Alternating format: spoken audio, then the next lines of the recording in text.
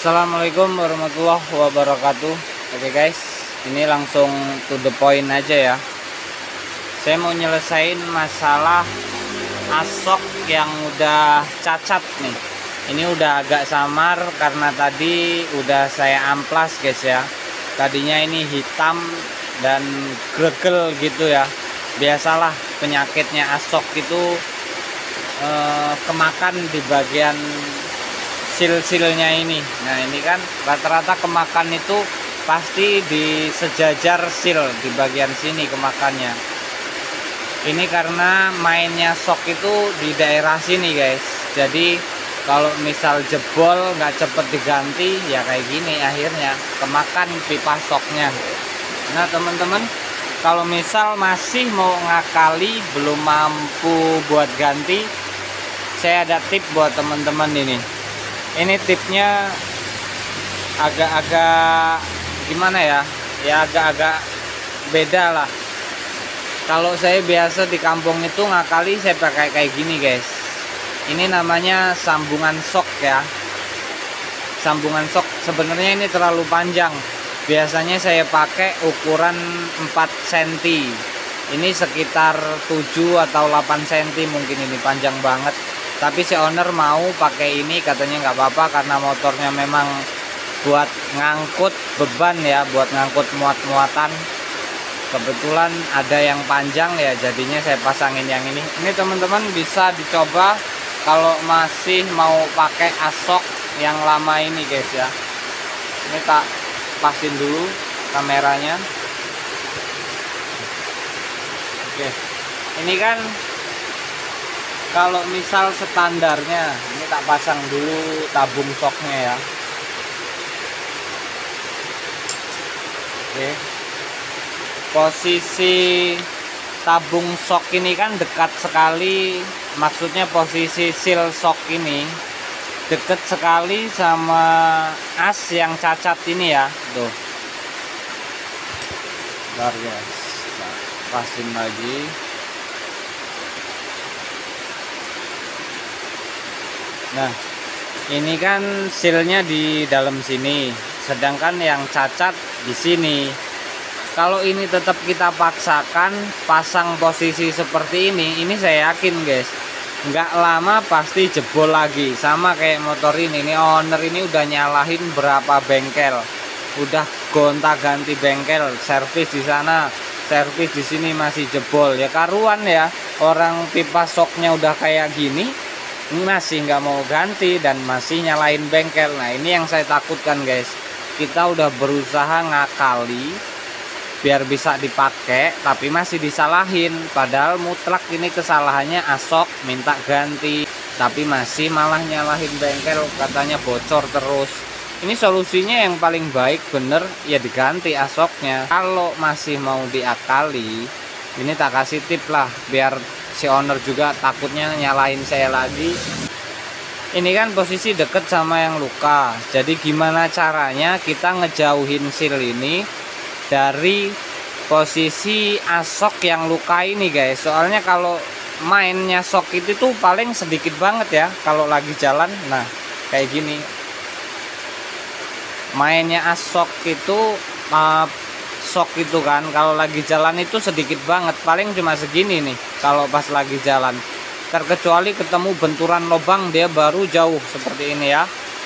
E, jauh naik atau pas kita ngerem depan nyut nah naik. Akhirnya kan kembali lagi di posisi yang luka ini.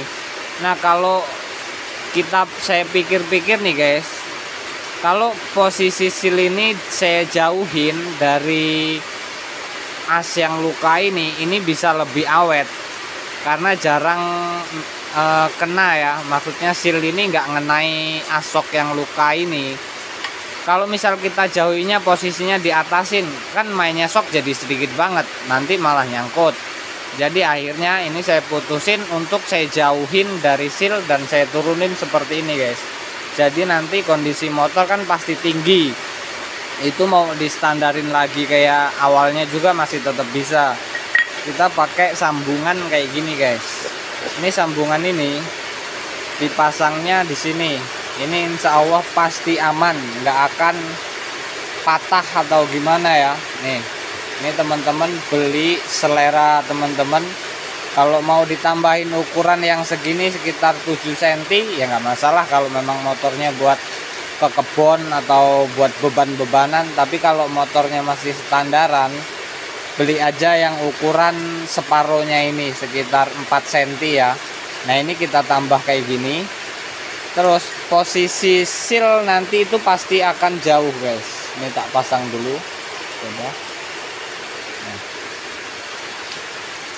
kita coba buktiin. Nah ini udah mentok ya karena tadi kan sambungannya sekitar segini.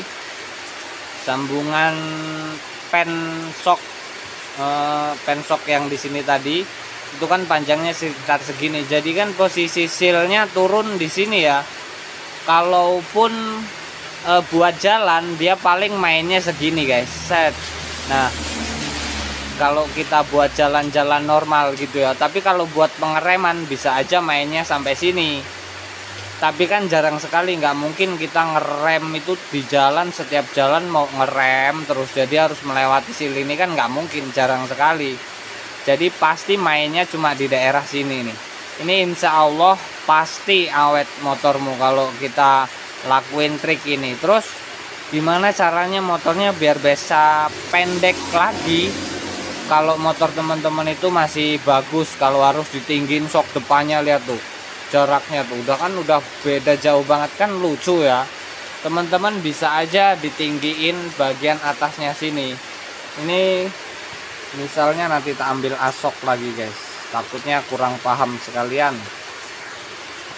Nah ini sekalian tak contohin kalau mau nyetandarin lagi teman-teman ya.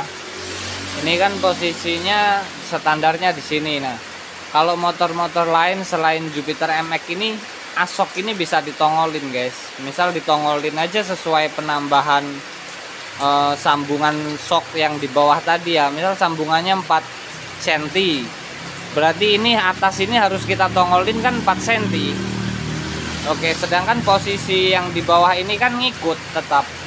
Tabung sok nggak akan ngenai bagian as yang luka ini ya motor tetap standar walaupun pakai sambungan karena yang di sini kita tinggiin posisinya jadi seperti ini.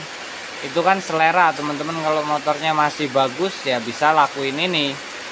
Tapi kalau memang motornya buat bebanan ya udah dibikin tinggi kayak gini kan malah mantap jadinya. Nggak perlu harus dipendek-pendekin lagi. Mainnya pun akan jadi uh, banyak banget guys ya. Ini posisi standar segini. Nanti kita naikin beban muatan itu pastikan jadi segini. Nah mainnya pun segini. Ini insya Allah yang tadinya katanya si owner ini nih nggak sampai dua bulan udah bocor-bocor nyampe nyalahin bengkel aja. Padahal yang rusak ini asoknya udah diakalin sama mekanik mikirnya udah keras masih disalahin juga. Saya pun takut guys ya kalau dapat kesalahan kayak gini. Ini saya udah berusaha udah saya amplas sudah saya bersihin masih disalahin takutnya nanti. Ya akhirnya saya buat solusi seperti ini. Saya yakin insya Allah ini pasti awet guys karena seal shock ini jarang sekali ngenai bagian yang luka ini ya. Ya yang cacat ini Oke lah, semoga-moga paham teman-teman karena ini kalau harus saya praktekin pola pasangnya pun pasti makan waktu. Saya pun harus ngegrenda di bagian atas ini kalau untuk motor-motor Jupiter MX ini. Tapi kalau untuk motor-motor lain itu nggak ada tahanan pipa sok di atas ini ya. Tinggal kendorin baut-baut ini langsung naikin aja pipa soknya udah selesai. Tapi kalau ini harus ngegrenda dulu jadi makan waktu.